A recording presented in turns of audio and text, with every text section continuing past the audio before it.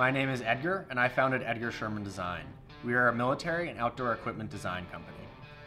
Today, I'm going to show you an overview of our enhanced foregrip, along with an installation video.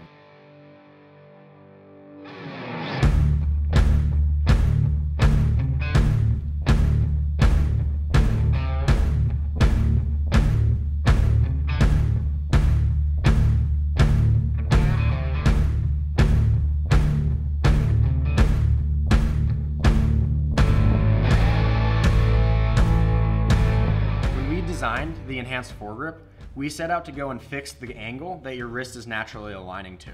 If you grab on directly to the rail, you're gonna be hyperextending your wrist. The enhanced foregrip is actually set up to go and bring your wrist to a much more natural alignment, thus reducing fatigue and increasing strength.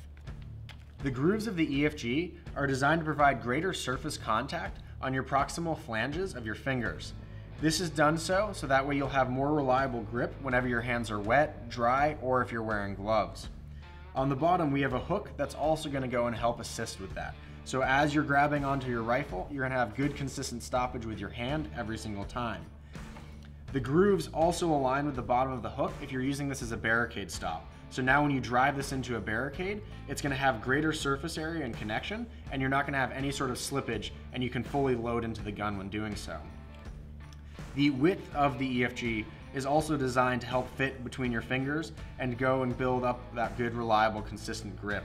So now you have more surface area that your fingers are wrapping around the EFG. Well, the front of your rifle might start to get heavy when you add a suppressor, a flashlight, a laser, and any other accessories through there. You know that the EFG is not going to be adding weight there. At only 0.7 ounces, including hardware, it's going to help keep your front end as light as you possibly can get it. If you purchase an EFG from one of our dealers, it's going to come in packaging that looks like this.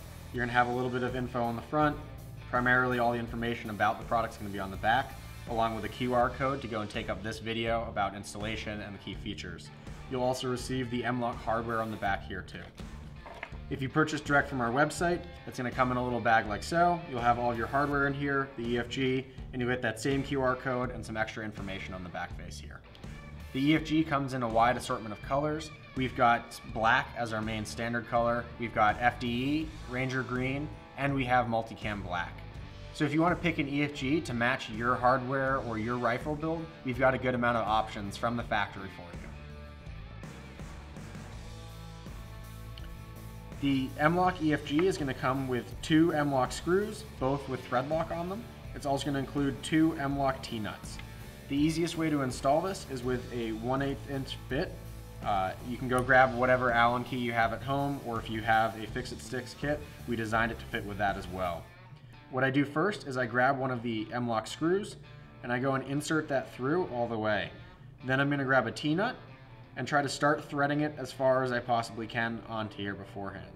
If you run into an issue where you can't quite get this threaded on very far, you can always go and insert this into some of the M-LOK and twist until it gets a little bit tighter. The goal that I'm looking for is so that way when I rotate this into the M-LOK, I'm not having to put a lot of pressure into it or pull it off of the gun all that much.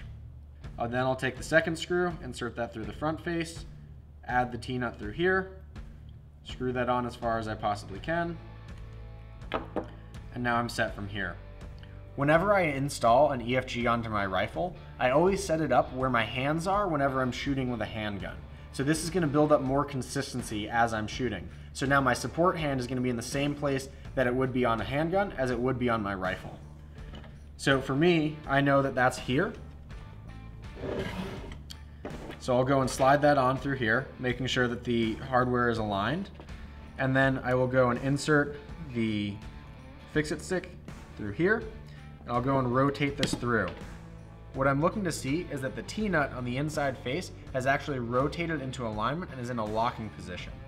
I won't lock it all the way down yet because I want to make sure that both of these are going to be doing the same thing and not free spinning. Fortunately, I aligned everything properly, so neither of these are going to be free spinning. And now I can go and tighten these up. I get these about hand tight through here. If you want the exact torque specs, you can look up right here in the video.